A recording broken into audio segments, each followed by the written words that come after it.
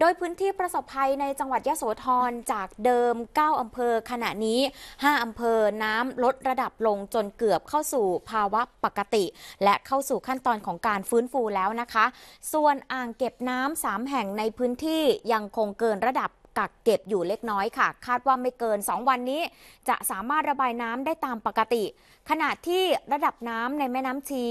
และลำเซบาย แม้จะลดลงต่อเนื่อง แต่ยังคงต้องเฝ้าระวังต่ออีกระยะหนึ่งนะคะ ขณะที่สถานการณ์น้ำบนถนนข้ามฝั่งมาจากอำเภอพนมไพร จังหวัดร้อยเอ็ดมุ่งหน้าเข้าจังหวัดยะโสธรที่ก่อนหน้านี้ท่วมสูงเป็นระยะทางประมาณ 5 กิโลเมตร มาตั้งแต่วันที่ 5 กันยายนที่ผ่านมา ตอนนี้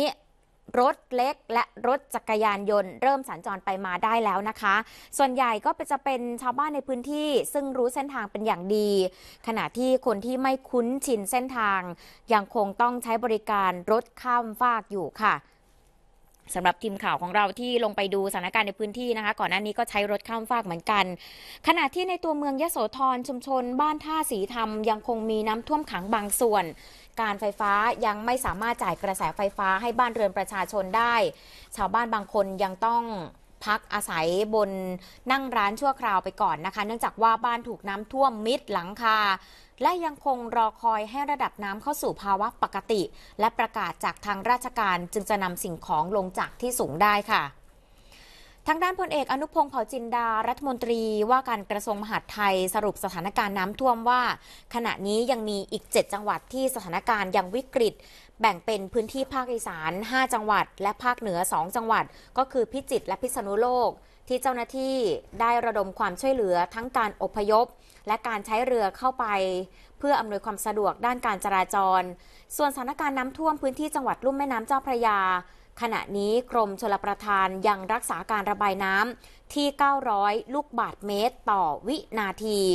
โดยจะยังคงการระบายให้ได้ระหว่าง 900 ถึง 1,200 ลูกบาทเมตรต่อวินาทีนะคะ เพื่อที่จะไม่ให้กระทบกับประชาชนมากนักค่ะ ฟังเสียงรัฐมนตรีว่าการกระทรวงมหาดไทยกันค่ะ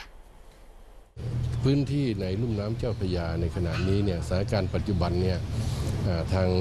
รมชนประทานยังรักษาการระบายน้ำที่เขื่อนเจ้าพระยาอยู่ได้ประมาณ 900 ลูกบาศก์เมตรต่อวินาทีนะครับ ซึ่ง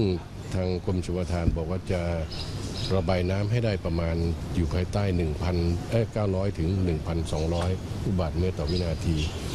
จากประสบการณ์ที่มีเนี่ยถ้าถ้าไม่เกินพันเนี่ยก็จะไม่ถ้าไม่มีผลกระทบเลย แต่ถ้าเกินพันหนึ่งเนี่ยก็จะมีพื้นที่ของจังหวัดอยุธยาพระนครศรีอยุธยา ในพื้นที่ลุ่มต่ำติดแม่น้ำเนี่ยก็จะมีผลกระทบบ้างนะครับในในในส่วนนี้ซึ่งถ้าถ้าระบายอยู่พันสองนี่ก็จะมีบางส่วนของริมแม่น้ำเจ้าพระยาของของของจังหวัดพระนครศรีอยุธยาที่มีผลกระทบบ้าง แต่คงคงเป็นประจำทุกปีอยู่แล้วนะครับ ก็คงมีแค่นั้น